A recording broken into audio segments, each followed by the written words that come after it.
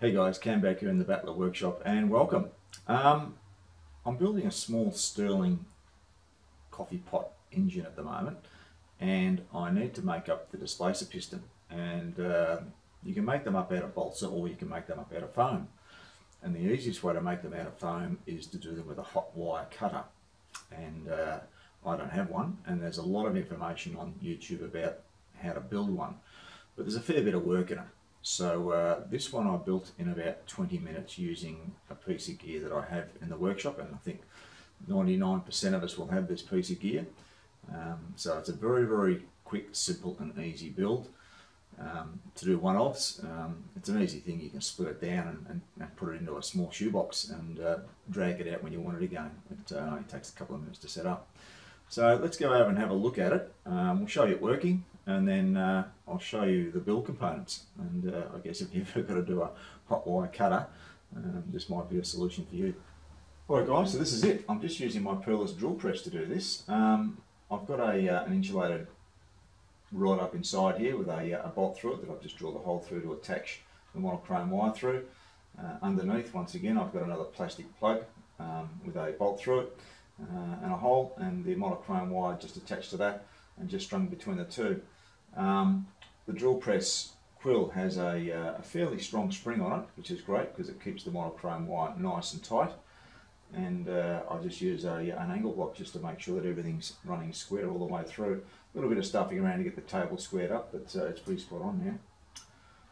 Alright, I'll bring it up closer and we'll show you how it works.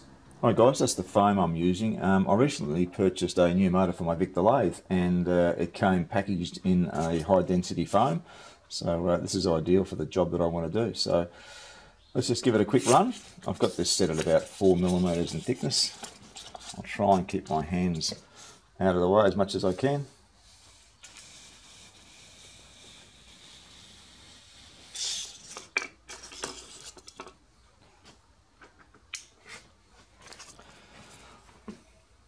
So that's it there, very consistent on it and uh, cuts extremely well.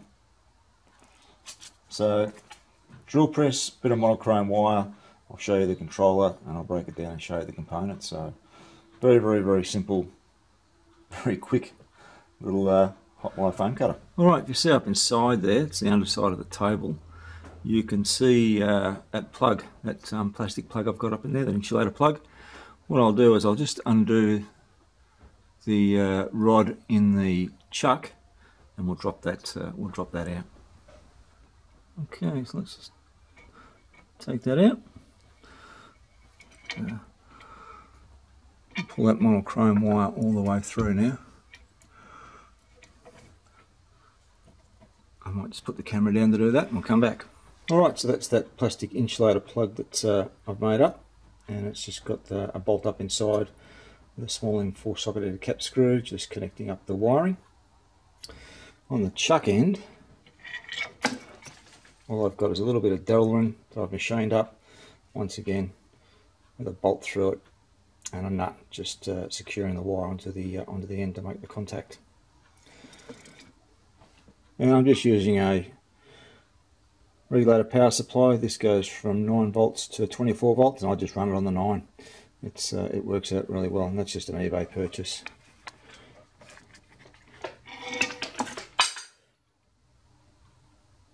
That's the, uh, the details of it there. So yeah, very very simple setup. Only took uh, just over half an hour to make up all the bits and pieces and, uh, and to get it up and going. So uh, it's worked out extremely well just for bits of plastic I buy these down at my local Bunnings and they're only a couple of bucks each and just use a hole sorter to uh, drill out slugs of plastic that I need and uh, that's what I machined up the uh, that, uh, that white plug with. Alright, we'll go back into the office and we'll do a bit of a wrap up and show you how things ended up and, uh, and we'll see you on the next one. Just a quick one before I go. Um, that just shows you the whole hot wire foam cutter all wrapped up just ready to pop in a box ready for the next time very very simple so this is the adapter plug that goes on the end of the plug of the little power supply and that allows you to connect your wires and I've got that one disconnected so that I could uh, pull it through the table. But I just bought that down at my local Jaycar store, Jaycar electrical store. Just to show you the quill, this is the quill that I've got and it's got a fairly strong spring in there that retracts that back up. And when the heat comes onto that wire, you can actually see that handle move just as it slackens off and then takes up the tension again. So once that heat's in it and it's at uh, at the correct tension, it's it's fine. If you wanted a bit more tension, you could possibly hang a weight off there, I guess. But uh, the tension that I've got on this spring, it's it's more than enough. Okay, just a quick wrap up to this. This is the uh, displacer piston that I've made out of the uh, foam using the foam cutter, hot wire foam cutter. And I'm very, very happy with, with how that's come out. That's the cylinder it's going to sit into. And uh, the thickness is pretty consistent all the way around, so worked out well with that angle plate up against it. Alright, I've got a little bit more work to do on this. I'm waiting for some Allen keys to come in for the very fine M2 grub screws. It's a 0.9 millimeter hex Allen key and um, I can't complete it to get the timing set until I've got that but uh, it's getting very close. Alright, well that's the hot wire cutter done and uh, I'll pack it up now and uh, we'll get the drill back, uh, back into service again. Okay, cheers for now.